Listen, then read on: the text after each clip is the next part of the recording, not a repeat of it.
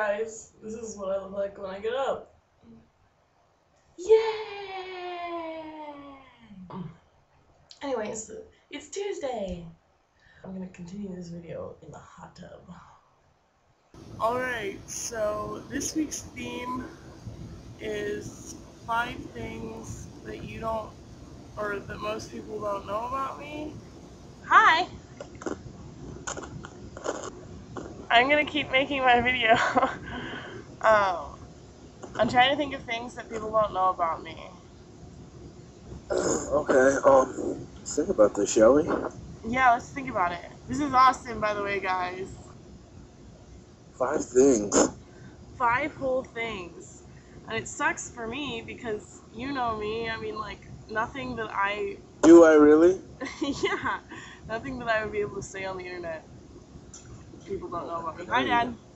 Here's something most people don't know about me why I tell everyone everything. Uh-huh. Because I think that if you know everything about me, there's nothing you can hold against me. Because everybody knows, so it's not a secret. Yeah.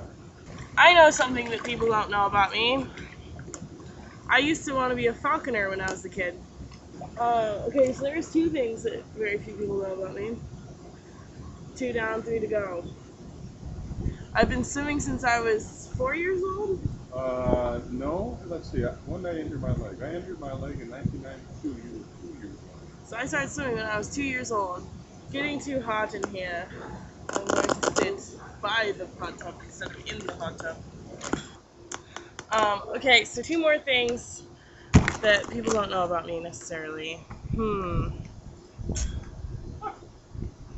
Um, this is sort of a cop out because like most of my friends know this, but I'm gonna be a theater major, and so that's why I have all sorts of theater classes right now. And then fifth thing that most people don't know about me. What about your support group thing? Oh right, right, good idea. Um, I'm part of this thing called the SELP, which is the Self-Expression and Leadership Program, and um, in the Self-Expression and Leadership Program, we uh, we come up with a project that we want to do, where basically instead of looking at what's wrong in the world, we look at what's missing.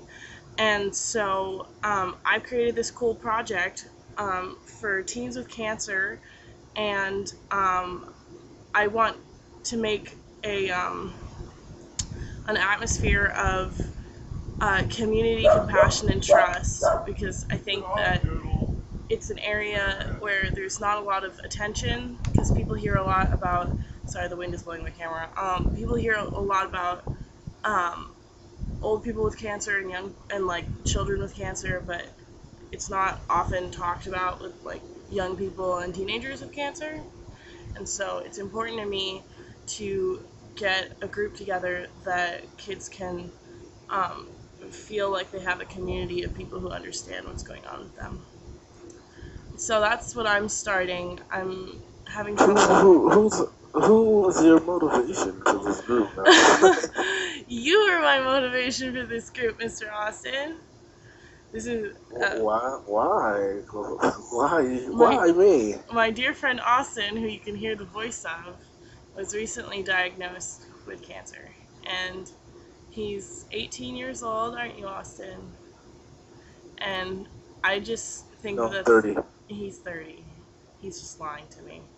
Um, I think that it's really unfair that someone his age should have to go through something like that. Hi, um, sorry, my camera pooped out on the last video, and so I'm just gonna add a little extra something. Um, if you want to hear more about um, the project with the kids with cancer, check the link in the sidebar and go to my personal channel. So that's all the time we have for this week, kids. And um, enjoy the rest of the week with Five Girls One Quinn. And speaking of Quinn, he's gonna be posting a video on Friday because he's having tef- technical difficulties still, and he can't. He couldn't post on Sunday or on Monday, so he's gonna be posting on Friday.